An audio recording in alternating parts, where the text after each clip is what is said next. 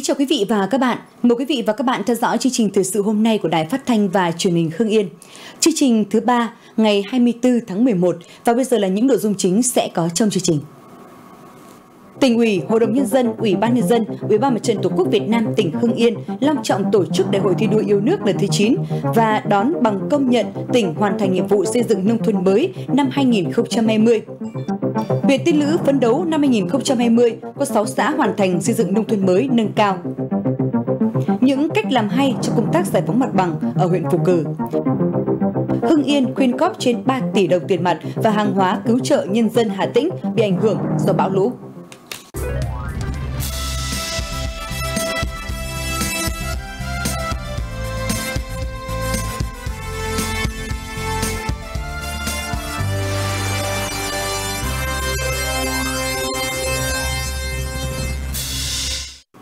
Quý vị và các bạn, sáng nay tại Trung tâm Hội nghị tỉnh, tỉnh ủy, Hội đồng nhân dân, Ủy ban nhân dân, Ủy ban Mặt trận Tổ quốc Việt Nam tỉnh Hưng Yên long trọng tổ chức Đại hội thi đua yêu nước lần thứ 9 và đón bằng công nhận tỉnh hoàn thành nhiệm vụ xây dựng nông thôn mới. Tới sự có đồng chí Đại tướng Tô Lâm, Ủy viên Bộ Chính trị, Bộ trưởng Bộ Công an, các đồng chí Ủy viên Ban chấp hành Trung ương Đảng, đồng chí Đào Việt Trung, Bộ trưởng chủ nhiệm Văn phòng Chủ tịch nước, đồng chí Nguyễn Xuân Cường, Bộ trưởng Bộ Nông nghiệp và Phát triển Nông thôn, đồng chí Cao Đức Phát, Phó trưởng Ban Thường trực Ban Kinh tế Trung ương, các đồng chí Phó trưởng các ban đảng Trung ương, thành viên Hội đồng Thẩm định đề nghị công nhận hoàn thành xây dựng nông thôn mới, về phía lãnh đạo tỉnh Hưng Yên có các đồng chí Đỗ Tiến Sĩ, Ủy viên Ban chấp hành Trung ương Đảng, Bí thư tỉnh ủy, Trường đoàn đại biểu Quốc hội tỉnh, các đồng chí nguyên Bí thư tỉnh ủy, Đặng Văn Cảo, Nguyễn Đình Phách, Cao Văn Cường, Nguyễn Văn Cường, Nguyễn Văn Thông, đồng chí Nguyễn Duy Hưng, Phó Bí thư Thường trực tỉnh ủy, đồng chí Trần Quốc Toản, Phó Bí thư tỉnh ủy, Chủ tịch Hội đồng nhân dân tỉnh, đồng chí Nguyễn Văn Phóng, Chủ tịch Ủy ban nhân dân tỉnh, Chủ tịch Hội đồng thi đua khen thưởng tỉnh, đồng chí Trần Quốc Văn, Phó Bí thư tỉnh ủy, Bí thư huyện ủy Văn Lâm, các đồng chí nguyên thường trực tỉnh ủy, chủ tịch Ủy ban nhân dân tỉnh, lãnh đạo Ủy ban Mặt trận Tổ quốc Việt Nam tỉnh, trường đoàn đại biểu Quốc hội tỉnh, các đồng chí ủy viên Ban Thường vụ tỉnh ủy, nguyên ủy viên Ban Thường vụ tỉnh ủy qua các thời kỳ, cùng trên 200 đại biểu ưu tú được chọn từ các ban, sở, ngành, đoàn thể tỉnh, các đơn vị, doanh nghiệp và các huyện, thị xã, thành phố. Diễn văn khai mạc đại hội thi đua do đồng chí Nguyễn Văn Phóng, Chủ tịch Ủy ban nhân dân tỉnh, Chủ tịch Hội đồng thi đua khen thưởng tỉnh trình bày khẳng định đây là sự kiện chính trị quan trọng và có nghĩa sâu sắc trong đời sống xã hội, khẳng định sự phát triển của phong trào thi đua yêu nước, công tác thi đua khen thưởng 5 năm qua và công tác xây dựng nông thôn mới. Nhờ đó đã có sức tập hợp thu hút các tầng lớp nhân dân, tạo nên sức mạnh vượt khó vươn lên, góp phần làm nên những thành tựu quan trọng trong phát triển kinh tế xã hội của địa phương. Hương Yên trở thành nhóm 16 tỉnh thành trong cả nước tự cân đối thu chi ngân sách và có đóng góp với ngân sách trung ương. Đồng thời, tỉnh Hương Yên hoàn thành nhiệm vụ xây dựng nông thôn mới, kinh tế duy trì phát triển ổn định với chất lượng tăng trưởng từng bước được cải thiện, quy mô và tiềm lực nền kinh tế tăng lên. GDP bình quân đầu người đạt gần 80 triệu đồng, sự nghiệp giáo dục, y tế, văn hóa, xã hội, xóa đói giảm nghèo có nhiều chuyển biến tiến bộ, đời sống vật chất và tinh thần của nhân dân không ngừng được cải thiện. Quốc phòng an ninh được giữ vững, khối đại đoàn kết dân tộc tiếp tục được củng cố tăng cường, công tác xây dựng đảng, xây dựng hệ thống chính trị đạt được nhiều kết quả quan trọng. Những thành tựu và tiến bộ đó có sự đóng góp tích cực của các phong trào thi đua yêu nước. Chúng ta đã hoàn thành Đại hội có nhiệm vụ tổng kết, đánh giá những thành tựu đã đạt được và ý nghĩa to lớn của phong trào thi đua yêu nước đối với sự nghiệp phát triển kinh tế xã hội, an ninh quốc phòng trong tỉnh, đánh giá thực chất ưu điểm của công tác thi đua khen thưởng trong 5 năm qua để phát huy và khắc phục những khuyết điểm, tìm ra các nguyên nhân, rút ra những bài học kinh nghiệm, đề ra phương hướng nhiệm vụ đẩy mạnh phong trào thi đua yêu nước 5 năm tới. Đại hội biểu dương và tôn vinh những tập thể cá nhân tiêu biểu, những gương điển hình tiên tiến xuất sắc đại diện cho các cấp, các ngành, các tầng lớp nhân dân thuộc các thành phần kinh tế của tỉnh trong 5 năm vừa qua nhằm khơi dậy, cổ vũ sức mạnh to lớn của khối đại đoàn kết toàn dân, phát huy nội lực, tranh thủ sự hỗ trợ của Trung ương và các ban, bộ ngành trong việc thực hiện thắng lợi các mục tiêu kế hoạch phát triển kinh tế xã hội của tỉnh Hương Yên giai đoạn 2020-2025. Sau lời khai mạc của Chủ tịch Ủy ban Nhân dân tỉnh, Đại tướng Tô Lâm, Ủy viên Bộ Chính trị, Bộ trưởng Bộ Công an, thay mặt lãnh đạo Đảng, Nhà nước đã tặng hoa chúc mừng đại hội. Báo cáo bằng hình ảnh Qua những thước phim do Đài Phát thanh và Truyền hình Hưng Yên sản xuất, trình chiếu tại đại hội khẳng định, thấm nhuần lời dạy của Chủ tịch Hồ Chí Minh, thi đua là yêu nước, yêu nước thì phải thi đua. Khi bắt tay vào xây dựng nông thôn mới, tỉnh Hưng Yên gặp rất nhiều khó khăn. Tuy nhiên, với quyết tâm chính trị cao, quan điểm chỉ đạo xuyên suốt của tỉnh như là nghị quyết Đại hội Đảng Bộ tỉnh lần thứ 17 và 18. Bằng sự vào cuộc tích cực của cả hệ thống chính trị và các tầng lớp nhân dân, 10 năm qua, tỉnh ta đã đạt những thành tựu quan trọng, trở thành một trong những địa phương hoàn thành sớm mục tiêu xây dựng nông thôn mới trong cả nước. Nhân dân đóng góp trên 800 tỷ đồng, trên 1,7 triệu mét vuông đất thổ cư, gần 700 hecta đất nông nghiệp, trên 1 triệu ngày công xây dựng nông thôn mới và các công trình phúc lợi công cộng.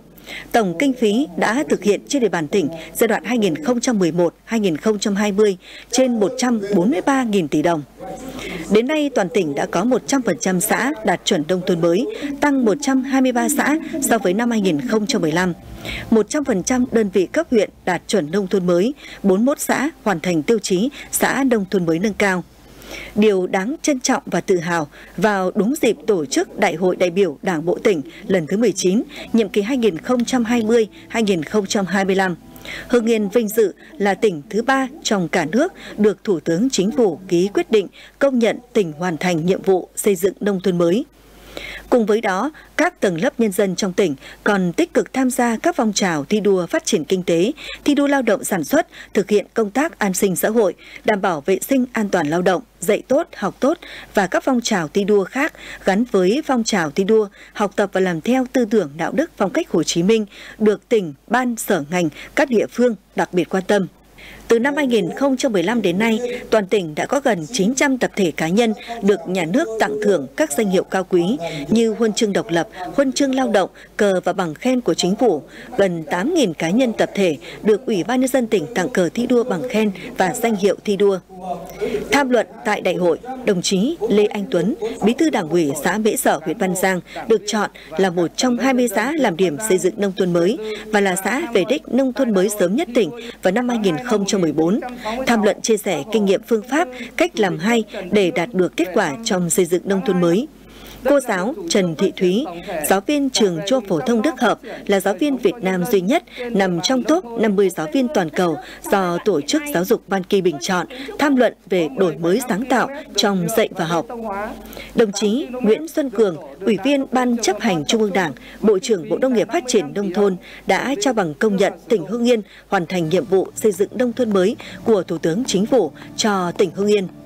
Nhân dịp này, Chủ tịch nước đã quyết định tặng huân chương lao động hạng nhì cho đồng chí Đỗ Tiến Sĩ, Bí thư tỉnh ủy, huân chương lao động hạng nhất cho đồng chí Nguyễn Văn Phóng, Chủ tịch Ủy ban nhân dân tỉnh và tặng huân chương lao động cho 5 tập thể và hai cá nhân đã có thành tích trong sự nghiệp xây dựng chủ nghĩa xã hội và bảo vệ Tổ quốc. Thưa ủy quyền của Chủ tịch nước, Đại tướng Tô Lâm, Ủy viên Bộ Chính trị, Bộ trưởng Bộ Công an đã lên trao huân chương cho các tập thể cá nhân tại đại hội. Thủ tướng Chính phủ tặng cờ cho 7 tập thể có thành tích xuất sắc, toàn diện nhiệm vụ công tác dẫn đầu phong trào thi đua yêu nước năm 2019. Đồng chí Đỗ Tiến Sĩ, Bí thư tỉnh ủy và đồng chí Nguyễn Văn Phóng, Chủ tịch Ủy ban nhân dân tỉnh, Chủ tịch Hội đồng thi đua khen thưởng tỉnh trao cờ cho các đơn vị. Thủ tướng Chính phủ tặng bằng khen cho 12 cá nhân có thành tích xuất sắc trong phong trào thi đua cả nước chung sức xây dựng nông thôn mới trong sự nghiệp xây dựng chủ nghĩa xã hội, bảo vệ Tổ quốc, Đồng chí Nguyễn Duy Hưng, Phó Bí thư Thường trực tỉnh ủy, đồng chí Trần Quốc Toàn, Phó Bí thư tỉnh ủy, Chủ tịch Hội đồng Nhân dân tỉnh đã trao bằng khen cho các cá nhân được Thủ tướng Chính phủ khen ngợi. Ủy ban nhân dân tỉnh tặng cờ thi đua cho 11 tập thể dẫn đầu phong trào thi đua yêu nước của tỉnh và Chủ tịch Ủy ban nhân dân tỉnh tặng bằng khen cho 85 tập thể và 275 cá nhân có thành tích xuất sắc. Đồng chí Trần Quốc Văn, Phó Bí thư tỉnh ủy, Bí thư huyện ủy Văn Lâm, đồng chí Phạm Thị Tuyến, Chủ tịch Ủy ban Mặt trận Tổ quốc Việt Nam tỉnh đã trao cờ thi đua của Ủy ban nhân dân tỉnh cho các tập thể tiêu biểu đồng chí Đỗ Tiến Sĩ, Bí thư tỉnh ủy và đồng chí Nguyễn Văn Phóng, Chủ tịch Ủy ban nhân dân tỉnh trao bằng khen của Chủ tịch Ủy ban nhân dân tỉnh cho 30 tập thể và cá nhân có thành tích xuất sắc. Phát biểu tại Đại hội thi đua yêu nước lần thứ 9 và đón nhận bằng công nhận tỉnh hoàn thành nhiệm vụ xây dựng nông thôn mới tỉnh Hưng Yên, đồng chí Nguyễn Xuân Cường, Bộ trưởng Bộ Nông nghiệp và Phát triển Nông thôn chúc mừng và biểu dương những kết quả trong phong trào thi đua yêu nước mà tỉnh Hưng Yên đã đạt được trong những năm qua, đồng chí nhấn mạnh. Ở tỉnh Hưng Yên có những kết quả rất nổi trội trong xây dựng nông thôn mới. Một, chúng ta phát triển thiết chế hạ tầng, nhưng hạ tầng ở ven đô. Do đó, độ bền vững, độ lớn, tính hữu ích rất lớn, đường cũng khác. Các thiết chế sản xuất, các thiết chế phục vụ đời sống, đường trường trạm hết sức chăm no đó là điểm rất nổi trội điểm nổi trội thứ hai nữa là hưng yên rất chú ý đến tái cơ cấu nông nghiệp. Một cái tỉnh ven đô, chúng ta đã tận dụng được lợi thế. Cả gần một vạn hecta bãi sông hồng, cả một vùng ven đô, cả một cái thềm trũng, đâu đâu cũng sáng tạo, có mô hình mới. Do đó mới có cái chuyện là đến nay thì chúng ta bình quân đã tới 210 triệu trên một hecta canh tác. Rất nhiều điển hình đâu cũng có điển hình. Không chỉ nông nghiệp mà còn kinh tế nông thôn. Đấy, cuốn băng video clip chúng ta nhìn đấy. Từ làm bánh làm giò làm chả thủ công mỹ nghệ. Một hệ sinh thái kinh tế chứ không chỉ nông nghiệp. Đó là cái điểm nổi trội thứ hai của hưng yên. Điểm nổi trội thứ ba của hưng yên đó là gì? Rất chăm lo đến an sinh các gia đình cách mạng các thế hệ thế rồi là chăm lo người nghèo. Một cái tỉnh như vậy mà đến giờ phút này chỉ có 1,8% người nghèo thì phải cố gắng quá gì nữa. Và một điểm nữa chúng tôi đánh giá rất cao đó là khả năng tổng huy động nguồn lực xã hội. 143.000 tỷ trong 10 năm nhà nước từ trung ương đến cấp xã chỉ có 13,5% đúng thực sự một nghị quyết đi vào lòng người một phong trào của dân, vì dân dân làm, dân hưởng, chính quyền hệ thống đi cùng. Đó mới là chương trình bền vững. Phấn khởi hơn là những cái vùng tập trung đô thị. Do đó tôi rất chung vui với cái mục tiêu cao cả chúng ta đạt được trong 10 năm qua. Thay mặt tỉnh ủy, Hội đồng Nhân dân, Ủy ban Nhân dân, Ủy ban Mặt trận Tổ quốc Việt Nam tỉnh Hưng Yên, đồng chí Đỗ Tiến Sĩ, Bí thư tỉnh ủy, cảm ơn và tiếp thu những ý kiến chỉ đạo của Bộ trưởng Bộ Nông nghiệp và Phát triển Nông thôn Nguyễn Xuân Cường. Phát biểu tại đại hội, đồng chí Đỗ Tiến Sĩ, Ủy viên Trung ương Đảng, Bí thư tỉnh ủy, trưởng đoàn đại biểu Quốc hội tỉnh khẳng định, 5 năm qua, thực hiện nghị quyết Đại hội Đảng bộ tỉnh lần thứ 18 và nghị quyết Đại hội 12 của Đảng, tỉnh Hưng Yên đã đạt được những thành tựu quan trọng. Phong trào thi đua yêu nước trong toàn tỉnh được khơi dậy, phát triển mạnh hơn trên tất cả các lĩnh vực của đời sống xã hội. Nội dung các phong trào thi đua tập trung vào những nhiệm vụ trọng tâm trọng điểm với hình thức thi đua đa dạng phong phú, tạo sự chuyển biến tích cực trên mọi lĩnh vực của đời sống chính trị, kinh tế, văn hóa, xã hội, an ninh quốc phòng của tỉnh.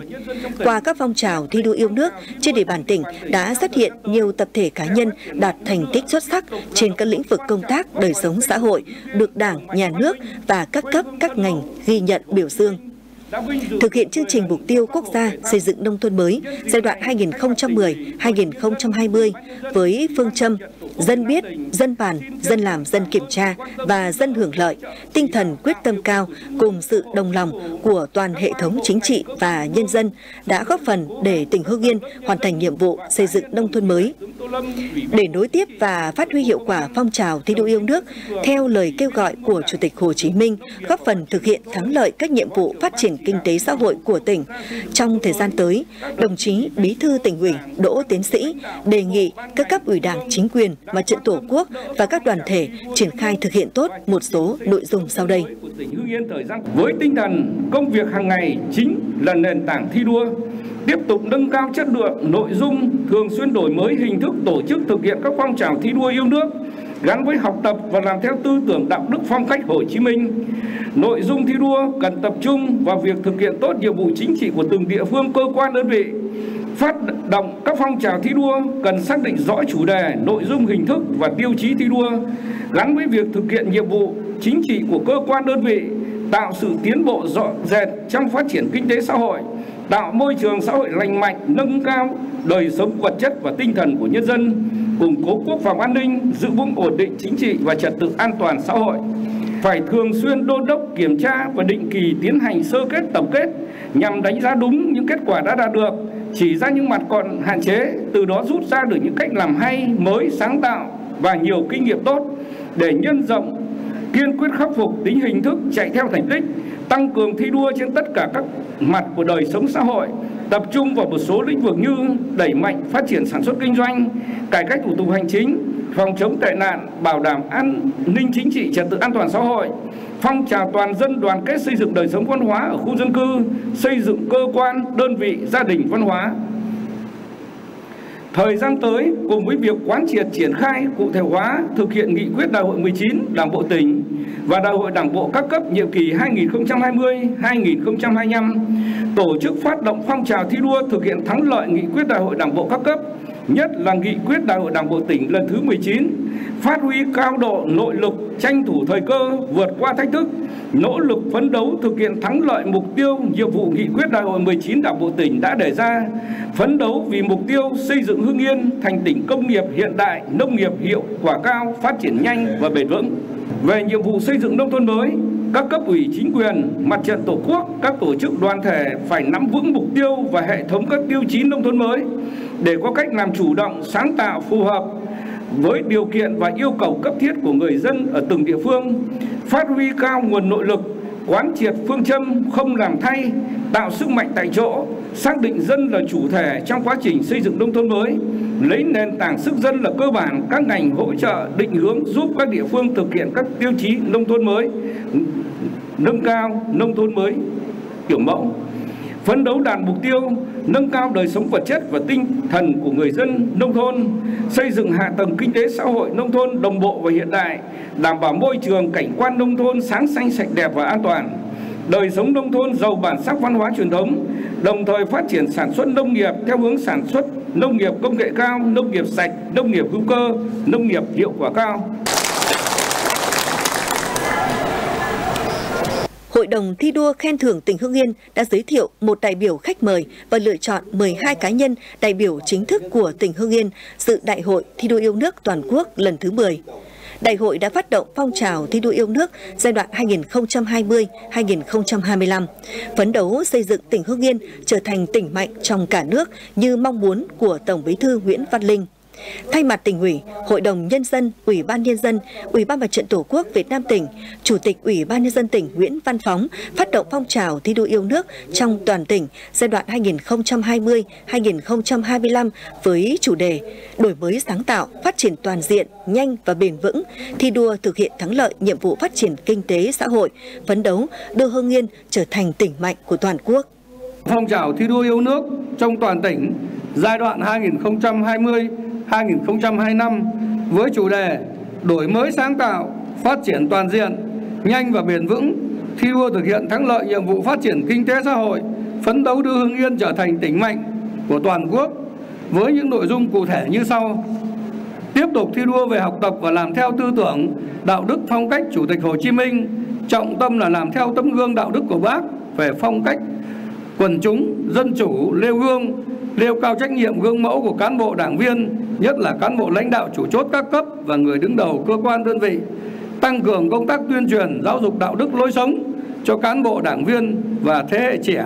theo tư tưởng tâm gương đạo đức phong cách Chủ tịch Hồ Chí Minh. Tiếp tục đẩy mạnh phong trào thi đua yêu nước trong các lĩnh vực về kinh tế, đẩy mạnh thu hút đầu tư phát triển hạ tầng, khu cụm công nghiệp, xây dựng kết cấu hạ tầng giao thông, xây dựng quản lý tốt quy hoạch, quản lý đất đai, bảo vệ môi trường, thi đua phát triển nông nghiệp công nghệ cao, nông dân khá giả, nông thôn văn minh, phát triển đồng bộ thương hiệu, thương mại dịch vụ và du lịch, tăng cường công tác quản lý, thu chi ngân sách, văn hóa xã hội cần đẩy mạnh và đổi mới căn bản toàn diện trong giáo dục đào tạo và ứng dụng khoa học công nghệ, quan tâm bảo vệ, chăm sóc và nâng cao sức khỏe nhân dân trong công tác phòng chống dịch hiệu quả, đẩy mạnh phát triển văn hóa, thể thao và thông tin tuyên truyền, thực hiện tốt chính sách an sinh xã hội, tiếp tục tổ chức các phong trào thi đua, cả nước chung sức xây dựng nông thôn mới, cả nước chung tay vì người nghèo, không để ai bị bỏ lại phía sau. Doanh nghiệp Việt Nam hội nhập phát triển, cán bộ công chức viên chức thi đua thực hiện văn hóa công sở giai đoạn 2019-2025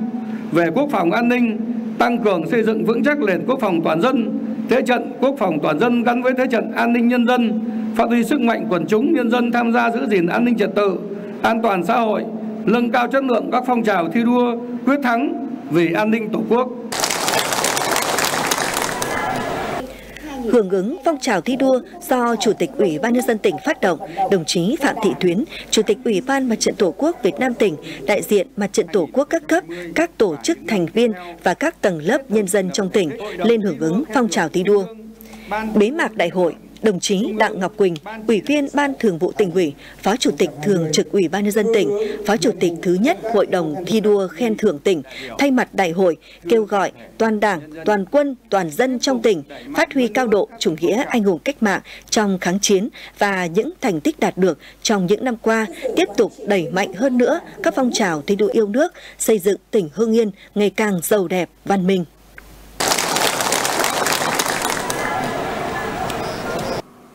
Sáng nay, Chính phủ tổ chức hội nghị trực tuyến toàn quốc về công tác xây dựng hoàn thiện hệ thống pháp luật và thi hành pháp luật giai đoạn 2016-2020. Sự hội nghị tại điểm cầu tỉnh Hưng Yên có đồng chí Nguyễn Duy Hưng, Phó Chủ tịch Ủy ban Nhân dân tỉnh, đồng chí Đỗ Xuân Sảng, Phó Chủ tịch Hội đồng Nhân dân tỉnh.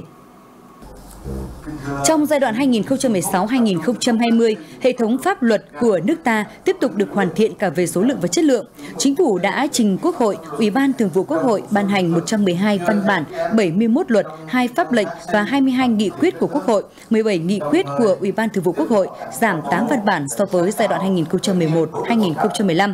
Chính phủ ban hành 745 nghị định, Thủ tướng Chính phủ ban hành 232 quyết định, giảm 123 quyết định so với giai đoạn trước, qua đó thể hiện chuyển dần theo hướng chỉnh tính thống nhất của hệ thống pháp luật.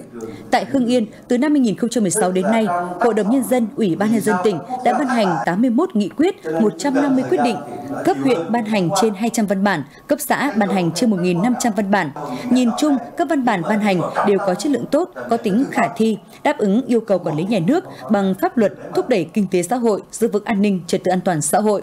Các cấp các ngành cũng đã tổ chức gần 7.000 cuộc tuyên truyền, phổ biến pháp luật, gần 300 cuộc thi tìm hiểu pháp luật cho gần 6.000 lượt người dân, tổ chức 24 cuộc kiểm tra việc thi hành pháp luật.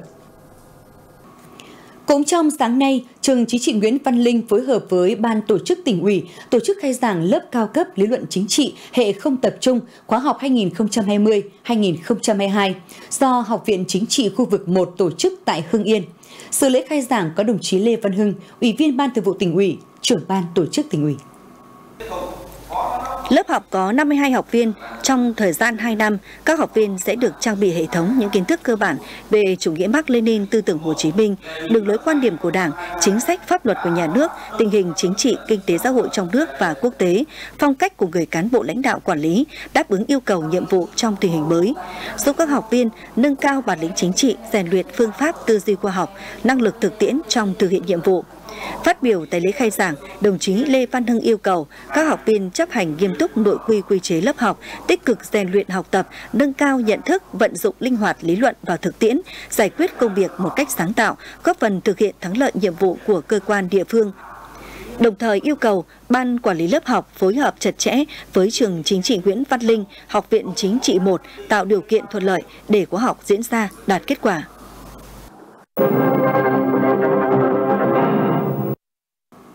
Thưa quý vị và các bạn, không chỉ hoàn thành mục tiêu quốc gia xây dựng huyện đạt chuẩn nông thôn mới, từ nay đến cuối năm, huyện Tiên Lữ phấn đấu sẽ có thêm 4 xã hoàn thành xây dựng nông thôn mới nâng cao. Đến nay, huyện Tiên Lữ đã có hai xã hoàn thành xây dựng nông thôn mới nâng cao là Nhật Tân và Hải Triều. Huyện đang phấn đấu đến cuối năm có 4 xã là An Viên, Hương Đạo, Thiện Phiến và Dị Chế, cơ bản hoàn thành các tiêu chí nông thôn mới nâng cao, nâng tổng số xã hoàn thành nông thôn mới nâng cao lên 6 xã. Hiện nay, các địa phương đang tập trung hoàn thiện, nâng cấp cơ sở vật chất đường thôn xã, tiếp tục được mở rộng, đảm bảo giao thông đi lại thuận tiện xây dựng các đường trục chính giao thông nội đồng, đảm bảo cho vận chuyển nông sản, đời sống người dân không ngừng được nâng lên, không có nợ động trong xây dựng nông thôn mới, đồng thời tiếp tục nâng cao các tiêu chí xây dựng nông thôn mới kiểu mẫu, góp phần đưa huyện Tiên Lữ phát triển toàn diện, văn minh và hiện đại. Giải phóng mặt bằng vốn là công việc khó liên quan đến nhiều người và thường để sinh những vấn đề xã hội phức tạp. Tuy nhiên bằng những cách làm hay, mô hình khéo, huyện Phù Cử tháo gỡ những nút thắt trong giải phóng mặt bằng nhằm đảm bảo tiến độ công trình và tạo được sự đồng thuận của người dân.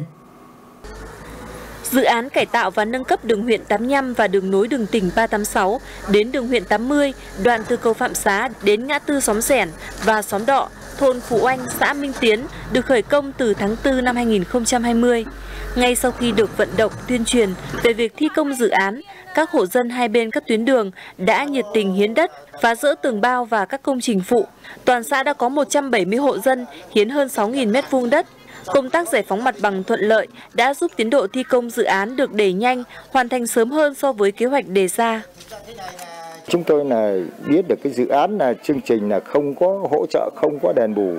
Thế cho nên là mình tự tháo rỡ và hướng xây dựng. Tôi là một đảng viên thấy mình cần phải gương mẫu và cần phải vận động bà con cùng làm theo và tôi cũng đã làm như thế. Bản thân gia đình tôi thì cũng đã hiến hai lần rồi. Thế đợt này chúng tôi là hiến là 75 mét vuông. Với tinh thần là cán bộ đảng viên đi đầu, các ngành đoàn thể phải đi đầu, hội viên của mình phải trách nhiệm.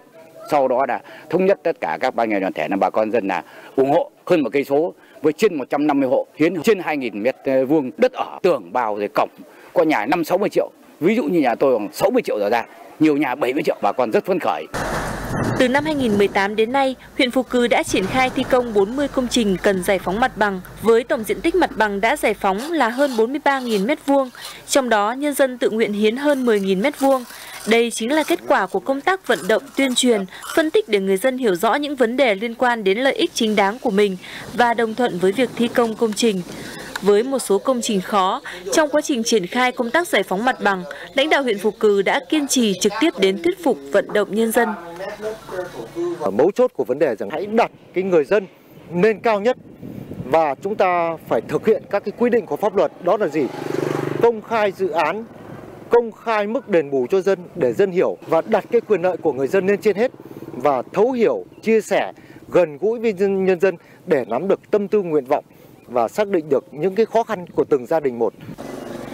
Từ cách làm này, trong những năm gần đây, huyện Phú Cư đã bàn giao đất và tạo điều kiện cho các dự án lớn được triển khai thuận lợi như dự án xây dựng cầu La Tiến, dự án đầu tư nâng cấp đường tỉnh 386, đường huyện 82, 86, 64 và đê tả sông Luộc.